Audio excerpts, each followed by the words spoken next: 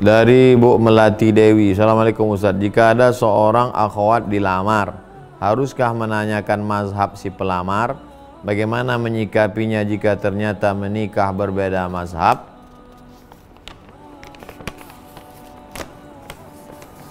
Kalau saya lah jadi perempuan, datanglah laki-laki melamar. Saya suruh bapak tuh nanya dulu. Tanya dulu sama abang tuh pak, boleh tak maulid Nabi? Nah, ada berkelahi gara-gara itu. Maulid dibid'ahkannya. Baca barzanji bid'ah, baca simtud duror bid'ah, baca telah al badru alaina bid'ah. Apa tak melayang kopi itu ke muka dia kan?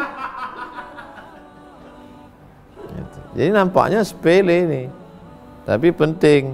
Ya, jadi saya sarankan ke adik-adik akhwat perlu kau tahu apa mazhab laki-laki itu. Kalau mazhabnya ahlul bid'ah tak usahlah.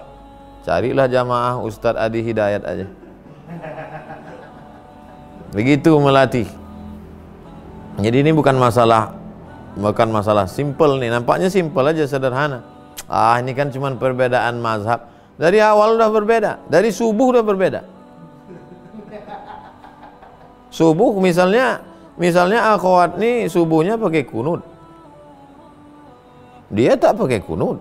Nanti pas ditanya, "Abang kok nggak pakai kunut, Bang?" Terserah aku lah, aku kan imam. Kunut tuh bid'ah. Mak. Tapi papa sama mama biasanya berkunut. Ayah sama mak kau pun bid'ah juga katanya. Mak.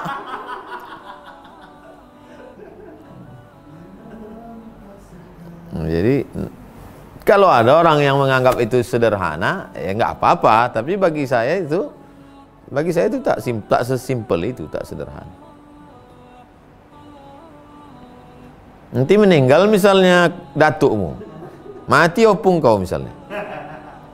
Itu mau buat buat tahlil, bang, abang nggak ikut tahlil, bid'ah. Kalian satu rumah tuh, ustad-ustadnya tuh semua masuk neraka tuh. kan bahaya tuh. Kalau siap antum kalau saya tak ada menghasut tak ada, saya cuma ngasih tahu aja.